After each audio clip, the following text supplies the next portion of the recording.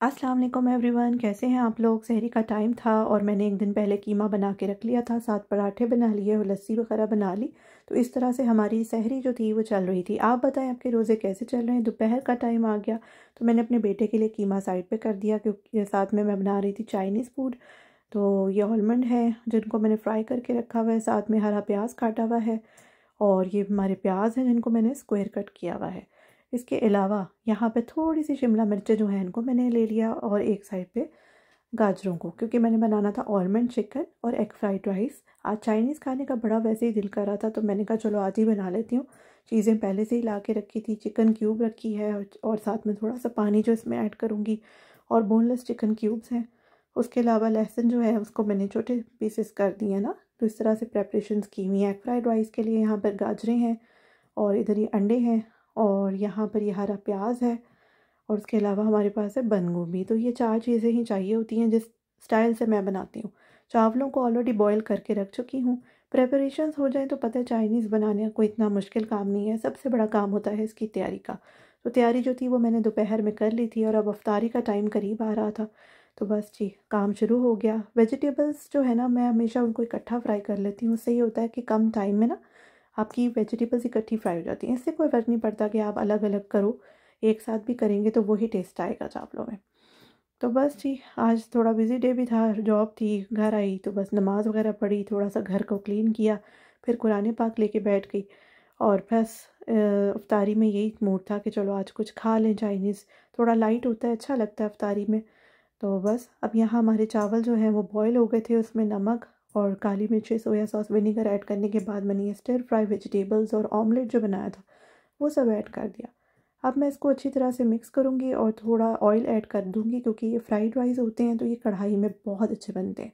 इतने फ्लेम पे मैं इसको पका लूँगी। साथ ऑलमंड चिकन की तैयारी शुरू करी थी तो लहसुन जो थे ना, जो गार्लिक उसको मैंने जवों को काट लिया था तो अब उनको ऑयल में ना एक दो मिनट हाई फ्लेम पे पकाऊँगी। साथ ही मैंने इसमें चिकन ऐड कर दिया और चिकन की करेंगे भुनाई। यानी कि चिकन का कलर जब पूरा चेंज हो जाएगा, ये थोड़ा सा वाइट कलर का हो जाएगा, फिर मैं इसमें बाकी की जो वेजिटेबल्स हैं ना, वो ऐड करूँगी। तो चाइनीज़ जब भी बनाएँ तो थोड़ा फ्लेम जो है वो हाई रखा करें। यहाँ मैंने सारी वेजिटेबल्स को एक साथ ही डाल दिया है और दो मिनट के लिए मैं इसको हाई फ्लेम पे कुक करूँगी। अगर ज़्यादा करूँगी तो ये वेजिटेबल्स जो है ना, वो फिर खड़ी खड़ी नहीं रहेंगी। तो हमारी कोशिश ये होती है कि वेजिटेबल्स जो हैं वो खड़ी खड़ी रहें और फ्लेम जो है वो हाई रखें, लेकिन दो मिनट तक। उसके बाद अब इसमें मैं ऐड करूँगी स्पाइसेस जिसमें नमक है, काली मिर्चें सोया सॉस विनीगर थोड़ा सा ये मैंने ऐड कर दिया चिकन क्यूब्स और पानी वानी ना? तो अब उसको मैं पका लूँगी और फिर जब ये खोलने लगेगा तो इसमें हम कॉर्नफ्लोर ऐड कर देंगे। कॉर्नफ्लोर जो है वो अपने हिसाब से ही मैंने ऐड किया अब इसको गाढ़ा होने तक थोड़ा सा कुक करूँगी। साथ मैंने मिन मार्गरीटा बना लिया। तो ये थी जी आज की हफ्तारी हमारी। तो यही था कि राइस हो जाएँगे ग्रेवी हो जाएगी साथ मिन मार्गरीटा और मैं कहती हूँ कि जितना आप लाइट खाओ ना अफ्तारी में, उतनी आपकी तबीयत भी ठीक रहती है। थकावट कम महसूस होती है और इशा की नमाज़ और तरावी का जो तमाम है ना, वो बड़ा अच्छा हो जाता है। अगर आप बहुत ज़्यादा जो है वो पेट भर लेंगे ना तो फिर ये कि स्पेशली फ्राइड आइटम्स फिर ये कि आपको ना बहुत ज़्यादा थकावट हो जाती है रोज़ा खोलने के बाद। तो अल्हम्दुलिल्लाह, हम लोगों ने अच्छी तरह खाया पिया तो उसके बाद भी शुक्र है अल्लाह का तबीयत ठीक रही। और बस लेफ़्ट ओवर को मैंने डब्बों में डाल दिया।